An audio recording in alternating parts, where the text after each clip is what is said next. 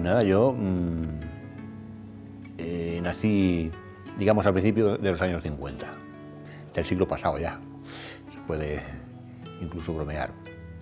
Soy el mayor de ocho hermanos, mm, nací en, La Mancha, en Ciudad Real concretamente, y bueno, pues con el tiempo eh, me trasladé a Madrid, estudié medicina, y una vez terminados los estudios de medicina, eh, que entre tanto había pedido la admisión en Opus Dei y había comenzado a hacer ya algunos estudios de filosofía eclesiástica, pues me fui a Roma a hacer la teología. Y una vez terminada la teología, eh, fui ordenado sacerdote. Se desarrollaba de un modo bastante convencional hasta el año 1991 cuando tuve un accidente de circulación, de tráfico.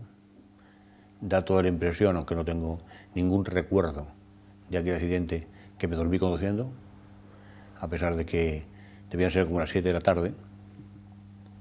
Y, como consecuencia de ese accidente quedé tetrapléjico. Lo que sí recuerdo es que enseguida mis razonamientos eh, fueron, digamos, pues mm, muy totales, en el sentido de que no me paraba a pensar lo que ya no podría hacer, ni,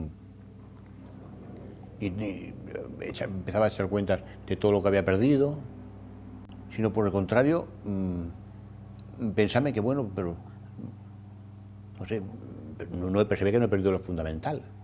Estoy vivo ¿eh? y, y para mí el punto de referencia fundamental en la vida es Dios y Dios sigue estando ahí y yo soy sacerdote.